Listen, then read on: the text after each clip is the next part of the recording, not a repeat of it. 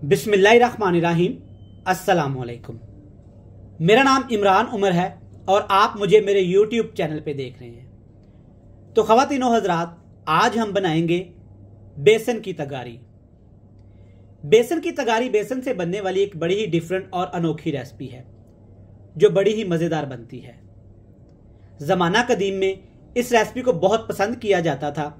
अगर आप किसी गाँव में रहते हैं स्पेशली इंडिया या पंजाब के गाँव में। तो आपको बखूबी अंदाज़ा होगा कि बेसन से ये बनने वाली रेसिपी बड़ी कमाल की बनती है। और हम मेरी हमेशा से यही कोशिश रही है कि अपने नाजरन के लिए इस चैनल पे कुछ मज़ेदार, अनोखा और मज़ेदार शेयर किया जाए, जो बनाने में भी आसान हो और ज़्यादा जेब भी भारा ना हो। तो इस रेसिपी को आज आपने लाजमी घर में ट्राई करना है। आपको एक अच्छी और डिफरेंट चीज़ खाने को मिलेगी। तो चले जी, सबसे पहले रेसिपी देख लेते हैं। तो चलें जी, शुरू करते हैं बिस्मिल्लाहिर्रहमानिर्रहीम।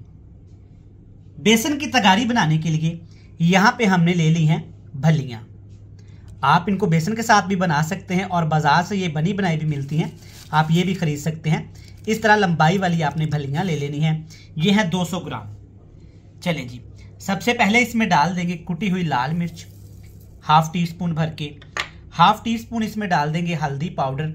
और हाफ़ टी स्पून इसमें डाल देंगे लाल मिर्च का पाउडर। और इसके साथ इसमें डाल देंगे यहाँ पे सब्ज मिर्च और सब्ज धनिया। थोड़ा थोड़ा सा काट के आपने ये भी डाल देना है।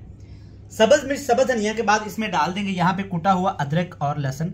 एक खाने का चम्मच भर के मोटा मोटा सा कूट लेंगे। चलिए जी, अब इसके साथ इसमें डाल देंगे यहाँ पे एक बड़ा कप भर के दही का। दही आपने फ्रेश इस्तेमाल करना है, पानी वाला दही इस्तेमाल इसमें नहीं करना। अगर आप बाज़ार से दही खरीदते हैं तो उसमें पानी होता है तो आपने अच्छे तरीके से पानी को पहले निचोड़ लेना है। अब यहाँ पे इन तमाम चीज़ों को आपने दही के साथ ऐसे मिक्स कर लेना है।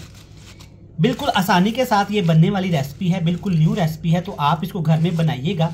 इस गर्मी के मौसम में ये आपको पसंद आएगी। इसको मिक्स करके आपने आधे घंटे के लिए रख देना है। तो यहाँ पे एक कढ़ाई में डालेंगे घी या कुकिंग ऑयल जिसमें भी आप घर में रेसिपीज़ बनाते हैं। सबसे पहले इसमें डाल देंगे थोड़ा सा ज़ीरा। कुकिंग ऑयल को बहुत ज़्यादा आपने गर्म नहीं करना। ज़ीरा डालने के बाद तकरीबन यहाँ पे आधा घंटा हो गया है तो जो चीज़ें हमने मिक्स करके रखी हुई थी ना, ये भी इसमें डाल देते हैं।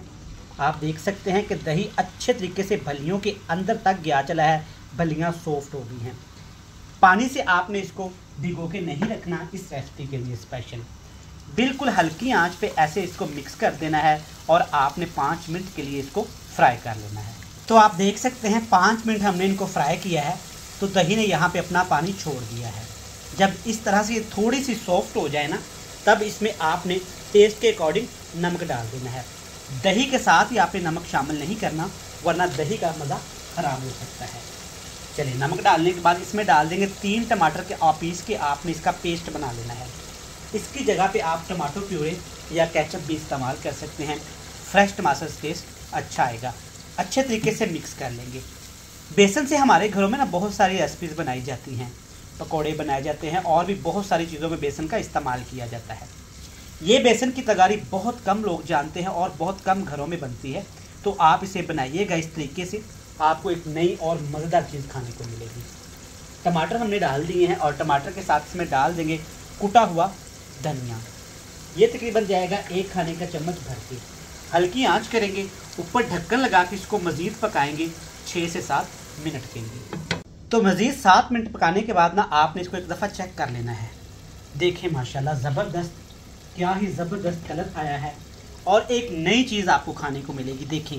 इसके अंदर जो हमने टमाटर और दही के साथ मसाला बनाया है ना, वो बड़ी डिफरेंट सी एक आइटम आपको खाने को मिलेगी। तो आप ये भी बनाइएगा, ये आपको अच्छी लगेगी। स्पेशली आप इस गर्मी के मौसम में ना, एक दफ़ा दोपहर में बना के इसको ट्राई करिएगा। ये बच्चों को, बड़ों को सबको पसंद आएगी। एक डिफरेंट और नई चीज़ है। अभी ये मुकम्मल तौर पे तैयार है। इससे ज़्यादा आपने इसको ड्राई नहीं करना, वरना ये फूलना शुरू हो जाएँगी। धनिया डाल दूँगा इसमें, खूब सारा कटा हुआ, अच्छी तरह धो के वाश करके। बेहतरीन यहाँ पे बेसन की तगारी बन के तैयार हो गई है। फ्लेम ऑफ़ करेंगे और आपसे मिलेंगे फाइनल लुक में। तो माशाल्लाह से देखिए। बेसन की तगारी कितनी मज़े की तैयार हुई है।